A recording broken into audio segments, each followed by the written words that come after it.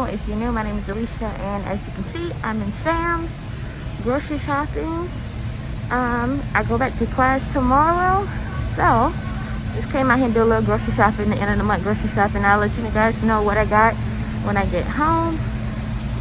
So stay tuned.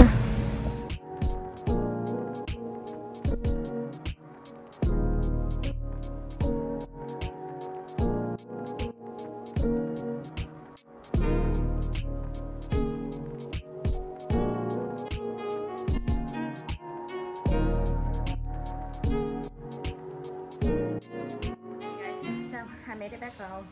So I'm gonna give you guys a quick update on the grocery haul that everything that I got. I made it back home, so I'm gonna give you a quick overview of everything that I brought. Um, this is a family of five, and I spent $300 um, for the end of this month grocery. End of this month, beginning of the month groceries. So I'm gonna let you guys see what I got.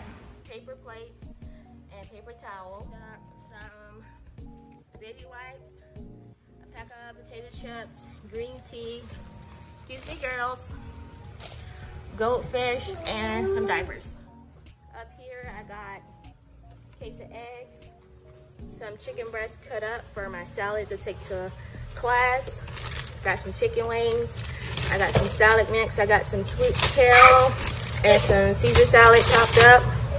Some strawberries, mini pancakes for the kids, uh, spicy beef patties, mini corn dogs. I got some butter, two bags of pepperonis.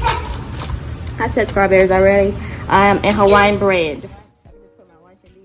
Um, eight come in here, so I got a pack of those. Two th uh, three things of milk. Picked up some more Uncle Ben's rice.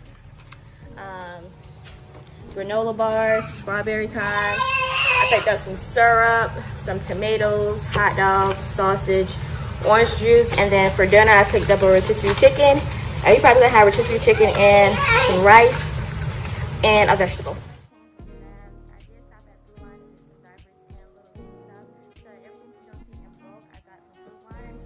all the bulk items I got from Sam's. So you guys, um, my total today I thought I spent was $300.